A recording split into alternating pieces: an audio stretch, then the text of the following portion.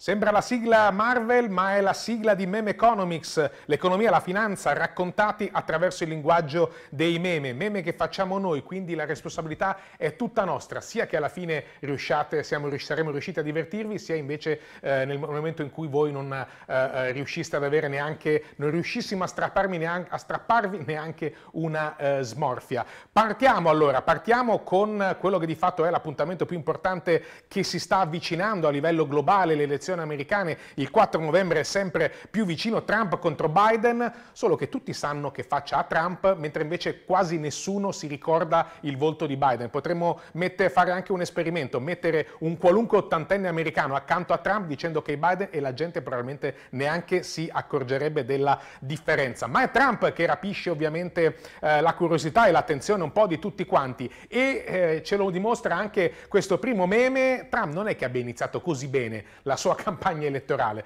perché eh, di fatto ha iniziato dichiarando che il Covid non esiste, o quantomeno lo ha molto sottovalutato, e ti ammali subito di Covid. Alessandro Borghese, in quello che è un meme diventato leggenda sul web, dice non è un buon inizio effettivamente. E ehm, il problema è che poi, una volta guarito, insomma, le cose non è che siano migliorate, cioè magari qualcuno ha pensato, oh, adesso magari ha capito che bisogna in qualche modo dare la giusta importanza a questo virus, e invece no, perché se andiamo a vedere il prossimo meme, scopriamo che sostanzialmente le cose sono peggiorate. E ci viene incontro Alberto Angela, dichiari che la mascherina è sopravvalutata, lo ricorderete, a volte non voleva neanche indossarla durante durante gli incontri pubblici, prendi il Covid e cosa fai? Guarisci e ti togli la mascherina praticamente in mondovisione. Come direbbe Alberto Angela, è una tragedia nella eh, tragedia. Ma in fondo è giusto così, in fondo è Donald Trump, The Donald, Captain Carisma per eh, qualcuno e quindi sostanzialmente è colui il quale viene dato per morto eh, eh, qualche mese prima delle elezioni americane e poi risorge, come vi mostriamo anche nel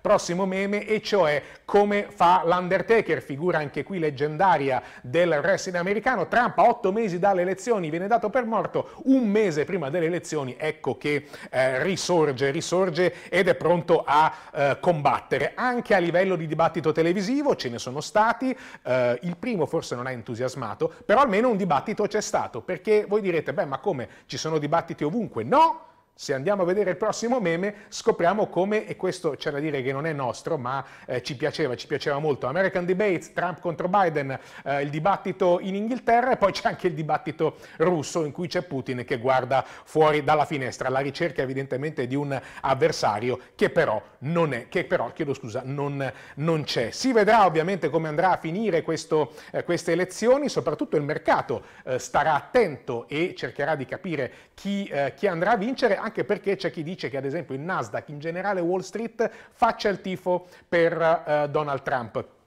E il Nasdaq c'è da dire che eh, arriva da un periodo un po' complicato, insomma ha ehm, inanellato quattro sedute consecutive negative. Allora gli esperti hanno detto, beh, alla quinta non può ancora accumulare eh, vendite, sarà senz'altro in ripresa, toccherà nuovi massimi. E invece qui abbiamo strappato questa fotografia da un red carpet, abbiamo eh, l'attore che interpreta Superman nel, eh, nell'ultima, insomma, negli ultimi, eh, nelle ultime edizioni appunto che hanno raccontato questo supereroe, Nasdaq pronto a nuovi massimi, dietro c'è Jason Momoa, eh, nei panni, che in realtà è l'attore che interpreta Aquaman, nei panni di Nancy Pelosi che fa muro ai repubblicani, o meglio fa, lancia l'ultimatum ai repubblicani sugli stimoli fiscali. Ed ecco che a quel punto i mercati si sono eh, fermati un'altra volta, un'ulteriore seduta ribassista, 5 sedute negative per il Nasdaq non si vedeva da tempo eh, immemore. Eh, intanto però comunque ci sono titoli che all'interno del Nasdaq viaggiano col vento in poppa, vanno forte, fortissimo,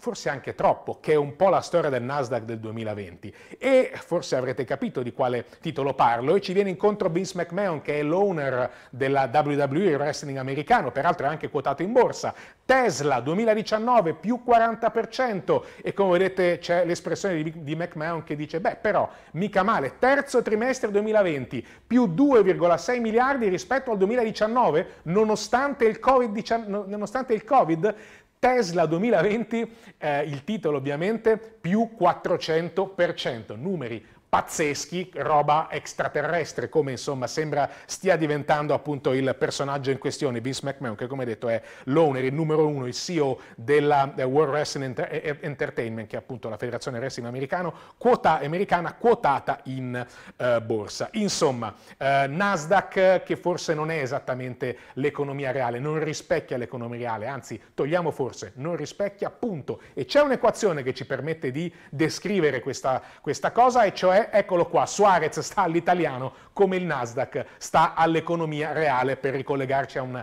evento di cronaca eh, recente, insomma, che ha visto l'attaccante uruguaiano che avrebbe superato l'esame di italiano attraverso eh, eh, così, insomma, metodologie poco ortodosse, in maniera non proprio pulita, se eh, vogliamo. L'attualità in realtà ci racconta anche altro a livello di numeri che non sono poi così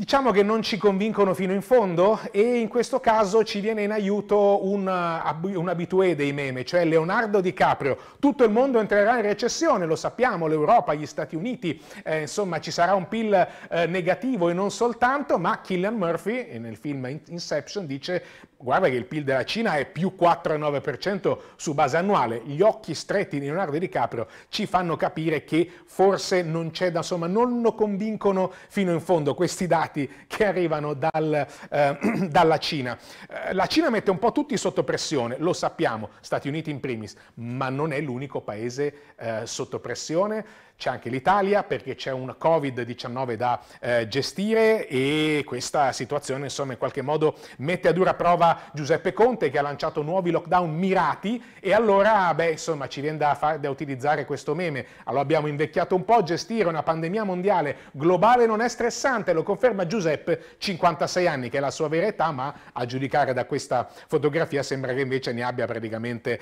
eh, 90 insomma con l'Italia che appunto apre a nuovi lockdown sembra sembra quasi un ossimoro, ma in realtà è la verità vera e eh, propria. La parola lockdown, peraltro, ci fa tornare in mente un periodo che abbiamo già trascorso, e cioè quello tra aprile, maggio, insomma anche eh, fine marzo, inizio giugno, con determinate abitu- abitudini che forse avevamo dimenticato. Ad esempio, vi ricordate le autocertificazioni? Sì, perché sono tornate anche le autocertificazioni. Ora il timore è che ogni giorno li dovremmo fare una nuova, come accadeva appunto nel periodo lockdown. E allora usiamo Karate Kid in una scena epica e anche qui qui leggendaria del cinema anni 80 e non soltanto, stampa autocertificazione, strappa autocertificazione, ogni giorno ce n'era una nuova da fare. Speriamo che questa volta sia una e una eh, eh, soltanto in questo, in questo caso. Peraltro il povero Conte in questa situazione sicuramente difficile ha dovuto prendere anche decisioni chiamiamole così, impopolari, perché? Perché a un certo punto ha chiesto a Chiara Ferragni e a Fedez di aiutarlo a convincere i giovani che la mascherina è importante questo non è nostro, questo meme, ma ci ha fatto sorridere, riesumando Aldo, Giovanni e Giacomo, Conte chiede aiuto a Chiara Ferragni e Fedez per far capire ai giovani che devono usare la mascherina, ma chi è che ti ha addestrato a te? Topo Gigio, battuta del film Così è la vita, in cui Giovanni eh, si rivolge a eh, Giacomo Poretti, appunto nel momento in cui Giacomo, che interpreta un poliziotto, lascia la pistola nel cruscotto e da quel cruscotto Aldo, che è il, il malvivente, prende la pistola e lo mette sostanzialmente, lo prende come ostaggio Uh, andiamo avanti perché um, un altro dei temi molto attuali da ricollegare al Covid sicuramente è il MES, quel meccanismo di aiuti che riguarda l'Unione Europea, soldi che possono servire per eh, irrobustire, eh, sostenere la sanità, la sanità di ciascun paese. L'Italia non ha, ancora, non ha ancora deciso di adoperare il MES, di sfruttare il MES e questa cosa non piace ad alcuni, all'opposizione o comunque ad alcuni eh, eh, anche, diciamo così, italiani che si domandano, e anche qui torniamo da ehm, Alberto Angela, quando spendi 14 miliardi per fare il MES, quelli sono i soldi che l'Italia ha messo in questo fondo comune, solo che poi non vuoi usare il MES e allora le divinità eh, evocate erano incalcolabili, tuttora sconosciute a noi, evidentemente a qualcuno qualche moccolo viene da eh, eh pronunciare, pensando appunto alla situazione eh,